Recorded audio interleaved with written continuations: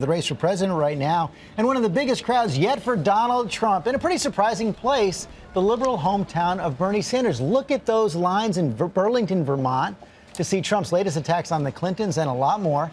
ABC Jon Karl there for all the action in Burlington. Good morning, John. Good morning, George. Burlington is one of the most liberal cities in America. This is the place that first elected Bernie Sanders as its socialist mayor three decades ago. But for a little while last night, it almost looked like Trump territory. Wow, what a beautiful group of people. Rallying the faithful in Vermont overnight, Donald Trump tried out a new call and response to one of his favorite lines. Who's going to pay for the wall? Who's going to pay for the wall? I've never done that before. But in Bernie Sanders' backyard, get him out. Take him out. Trump was repeatedly interrupted by protesters who infiltrated the rally. Get him out of here. Don't give him his coat. Keep his coat. While protesters aimed their fire at Trump, he targeted the Democratic frontrunner. I have my mindset on Hillary. I do have my mindset. Trump indeed has had his mind on Hillary and her husband, former President Bill Clinton. Our human rights. New Trump campaign video entitled Hillary and Her Friends shows Clinton with disgraced Congressman Anthony Weiner and Bill Cosby, and Bill Clinton with Monica Lewinsky. On the campaign trail in Iowa, Bill Clinton ignored the attack. If he wins the Republican nomination, we'll have plenty of time to talk about it. If Hillary wins. Back in Vermont, the Trump spectacle was in full force. Hundreds lining up for hours to see the GOP frontrunner. It doesn't start for another four hours, but as you can see, there is already a line of people here as far as the eye can see. Many here were diehard supporters coming to see Trump for the first time. Others were still on the fence. I've never actually heard much of him other than, you're fired!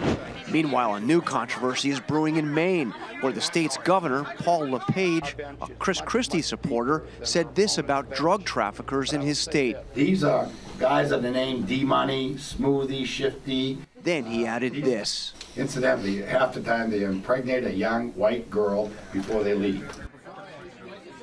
Governor LePage's comments sparked a firestorm of criticism overnight. Hillary Clinton saying, quote, LePage's racist rants sadly distract from efforts to address one of our nation's most pressing problems. But, George, there's no response yet from Chris Christie. Okay, Jon Karl, thanks very much. Let's bring in our political analyst, Matthew Dowd, right now. Matthew, you see Donald Trump up in Burlington, Vermont. You want to say, what is going on here? But it's actually a pretty shrewd move. I think it's a really shrewd move for a couple of reasons. First, Bernie Sanders and Donald Trump both are fishing from a similar pond, which is independent voters who are working class whites. That's a very similar set of voters. I think the fascinating thing is the two anti establishment outsider candidates, the most, are drawing the biggest crowds in this race. It's almost as if the visiting team, which is the outsiders, are drawing more fans than the home team, which is the establishment, in this nomination process. But I think fundamentally, George, what we have to figure out with the phenomenon of Donald Trump and Bernie Sanders is can they translate rallies into results. And we first have to have the first votes in about three weeks. Meanwhile, that attack on Bill Clinton, linking him to Bill Cosby, Anthony Weiner, Clinton not responding now, but could that blunt the Democrats' hope to make a, this war on women an issue in the general election? Well, I think it does two things. First, I think it helps Donald Trump in the Republican primary because the Republicans don't like Bill Clinton or Hillary Clinton. So I think it helps him there.